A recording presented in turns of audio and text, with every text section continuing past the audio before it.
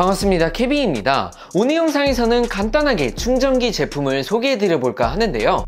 인피니티 랩이라고 해서 하만카돈, JBL, AKG와 같은 브랜드를 소유한 하만그룹의 브랜드라고 보시면 되는데 생각보다 국내에는 많이 잘 알려지지 않은 브랜드라서 gallium nitride 고속 충전기랑 케이블을 간단하게 소개해드리는 시간을 한번 가져보도록 하겠습니다 일단 제가 소개해드리는 충전기 같은 경우 말씀드린 대로 gallium nitride 초소형 충전 어댑터고 최대 65W까지 출력이 가능한 충전기인데요 USB-C 포트 1개와 USB-A 포트 1개가 탑재가 되어 있는데 C 포트는 최대 65W 그리고 A 포트는 최대 15W까지 출력이 가능하고 완전 포켓 사이즈로 무게도 107g 정도로 꽤 가볍습니다.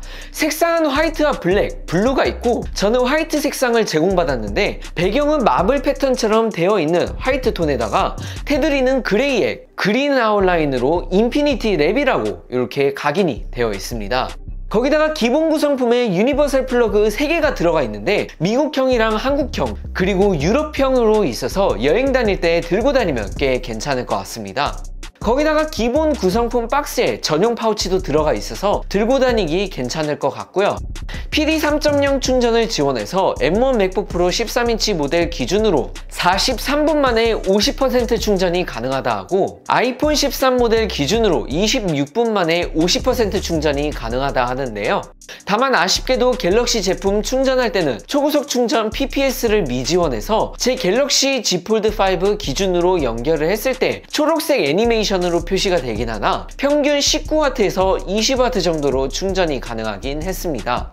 제 아이폰 15 프로 맥스 기준으로 평균 25에서 27W 정도로 출력이 됐었고요.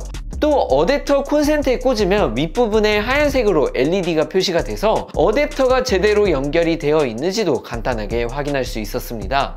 해당 제품 구매하실 때 어댑터만 구매를 하실지 아니면 케이블과 포함을 해서 구매하실지 선택을 하실 수가 있는데 케이블 같은 경우 해당 어댑터와 맞게 A2C 케이블과 C2C 케이블이 있는데요. C2C 케이블은 PD 및 최대 100W까지 출력 지원이 가능한 케이블이었고 A2C 케이블 같은 경우 15W까지만 지원하는 케이블이었습니다. 혹시나 구매 원하시는 분들은 고정 댓글에 링크 남겨드리도록 할 테니 한번 참고를 해주시고 오늘 영상은 여기서 간단하게 마치도록 하겠습니다. 고맙습니다.